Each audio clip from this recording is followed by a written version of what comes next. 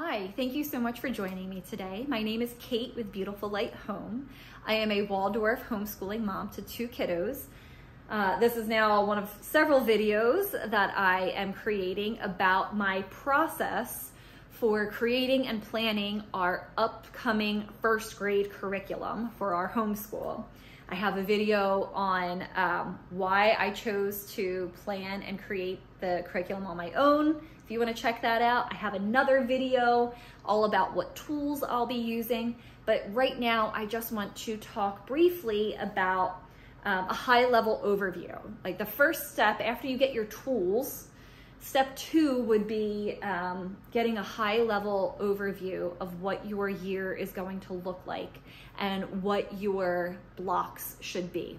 So I have a whole nother video on like main lesson blocks and everything like that. But if you're familiar with Waldorf curriculum, you know that um, we go in a block schedule where we teach one subject in depth for three to five weeks.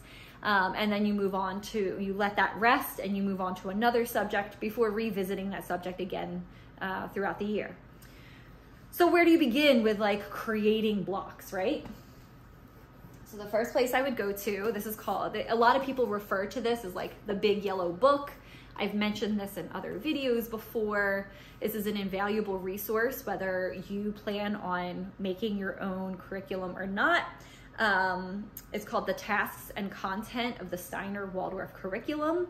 It's edited by Kevin Avison and Martyn Rawson, and it's a great resource uh, for all grades from kindergarten all the way up through 12th grade.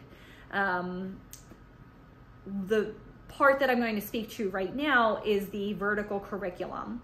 And what that means is it takes every single subject and it tells you, um, it shows you how that subject progresses throughout the grades.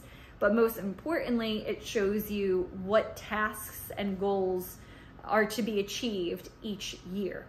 So for class one, like this has like arithmetic and mathematics. It tells you exactly in class one what they should be learning that year, counting up to 110, learning up to the seven times tables by heart and through rhythmical practice, introducing the four rules, and it just tells it tells you all of the things that you should be achieving from a high level perspective.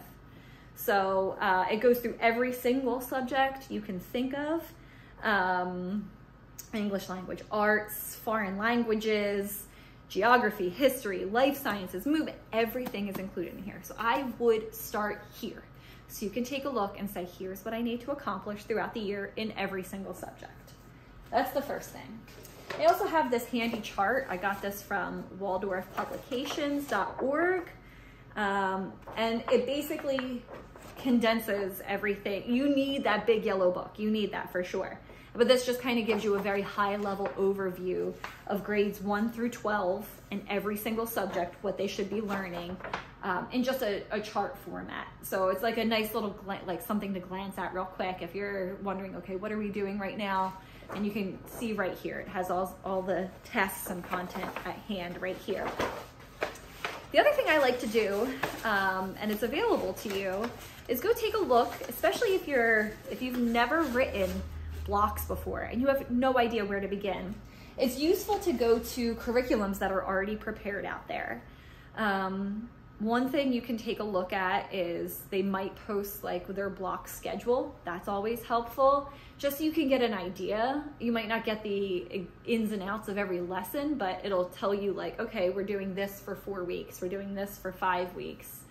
Um, they also have individual blocks for sale sometimes. So different different curriculum websites have different blocks available. So you can go to Live Education, you can go to Christopherus, you can go to Waldorf Essentials. They all post various things. Everybody's is going to be very different from one another, but it's good just to kind of get an idea of what the year might flow like if you've never if, if you've never been exposed to this before. So um, that's where I would begin. And then I would just kind of go through and I mean, in first grade, for instance, I know we're going to be spending the most amount of time on mathematics and on um, English language arts. So I know like reading and writing are going to be huge, and I know mathematics are going to be huge. So you kind of look at those things and say, well, I'm not going to do everything all at once for each of those. I'll probably break them up and do maybe a four week lesson on um, uh, introducing the letters to a, a, the child, the children, and then we'll let that rest, and maybe we'll go to mathematics for four weeks. So I would kind of guess that like everything's about four weeks, especially those heavier subjects. And you could just kind of plan out what your blocks could be like. So that's where I would begin. The last video was what tools you're gonna use.